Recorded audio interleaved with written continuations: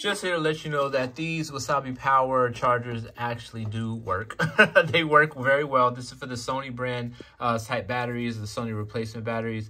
Uh, you just drop it in there. Boom, bit, um, easily charges. It does light up um, red when it's already charging.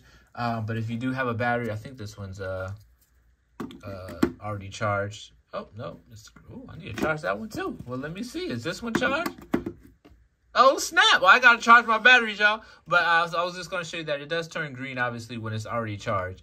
Um, but these these chargers work great. Uh, very portable as well. Obviously, they're really, really small. Um, you can see in my, um, if you just take a look, size of my hand.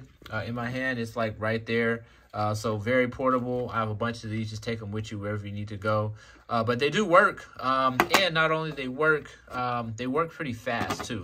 So when I charge these, it doesn't take that long for these batteries actually to charge. So um, definitely, you know, worthwhile uh, if you take them on, uh, if you're going on, you know, shoots or things, you're just going out quick and you want to grab something and grab something to charge, this works perfectly.